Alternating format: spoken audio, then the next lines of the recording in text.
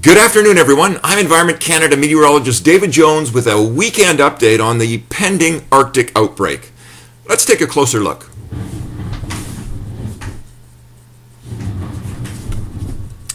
I forgot. I'm at home. The future clouds is a forecast of the clouds as seen by one of our weather models.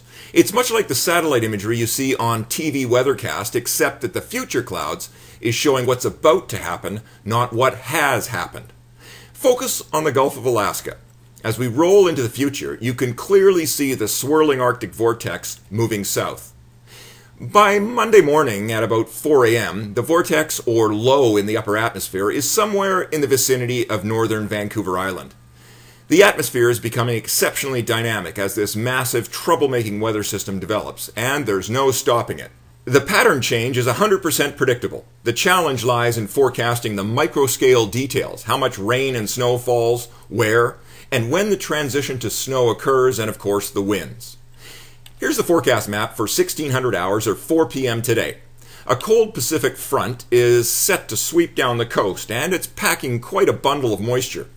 As the animation rolls, you'll see the bulk of the precipitation crosses the south coast, producing heavy snow in the mountains. Some of our models are suggesting 50 to 70 centimeters, but we're more comfortable with 35 centimeters as a forecast for the mountains, right now anyway. By Sunday at 2200 or 10 p.m., a broad open area of low pressure is apparent across southern BC. It's not clear exactly where the low will end up. That's unfortunate because the position of the low is critical to the weather outcomes, what happens and where. Whatever the case, the area of low pressure will draw the Arctic front southward. It's coming, and snow will fall near and along it. The tight packing of the isobars suggests strong winds, so blowing snow and near zero visibility is likely. Further south, near the low, conditions have become quite messy by this time. Wet snow with accumulations are likely Sunday across the southern interior. The snow will be mixed with rain or entirely rain in some areas, but will change to snow everywhere as the colder air seeps in. A variety of warnings are quite likely for Sunday and perhaps Monday. As we move toward Monday at 10 p.m., clearing from the north occurs and the Arctic front moves offshore. The whole province is covered by Arctic air by this time. High pressure over the interior and lower pressure along the front combine to create a strong pressure gradient along the coast again, as shown by the tightly packed isobars.